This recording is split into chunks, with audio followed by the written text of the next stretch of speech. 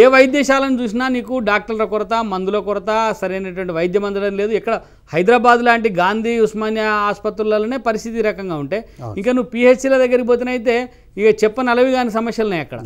Doctor ఉండడు ఉన్నా రాడు.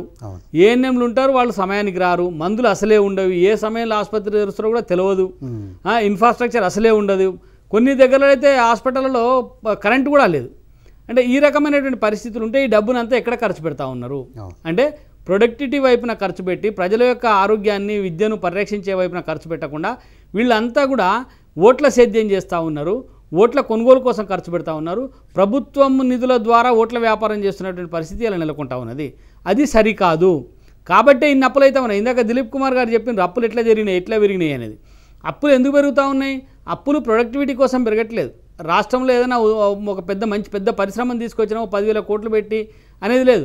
ఇప్పుడు ప్రభుత్వ రంగ పరిశ్రమలు ఒకటి రాలే ఇప్పటిదాకా ఈ ఈ ఏడేళ్ళ కాలంలో.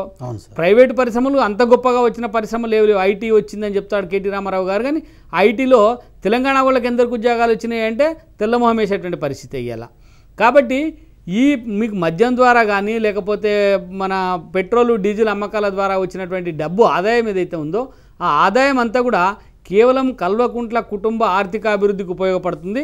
తద్వారా టీఆర్ఎస్ పార్టీకి ఓట్లు తీసుకుపో తెచ్చేందుకు ఉపయోగపడుతుంది తప్ప రాష్ట్ర సమగ్రాభివృద్ధికి ఉపయోగపడడం లేదనేది స్పష్టంగా అర్థమవుతా ఉంది